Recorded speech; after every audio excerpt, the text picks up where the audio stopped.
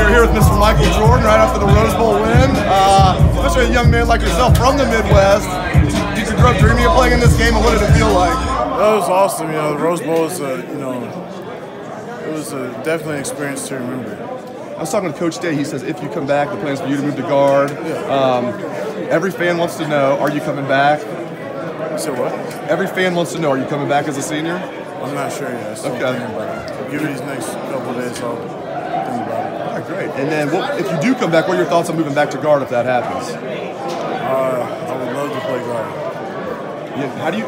You played good at center this year, despite the your kind of move there. Not really at the last my minute, but in I believe in camp, maybe in spring you moved there. Um, how do you feel like you played at center this year? Well, you know, there's always room for improvement, but I think I did overall pretty well. That's got to help your, your draft stock. Whenever you, if you leave this year or next year, the fact that you have that year on tape, that you're versatile, you can probably even play tackle if you wanted to. That's got to help your NFL draft stock, I would think. Uh, and then last thing, uh, Coach Day taking over next year. If you do come back, just your thoughts on, on playing for Coach Day next year if you come back. Coach Day's a wonderful coach, man. He's he led the team the first three games, and he did a wonderful job.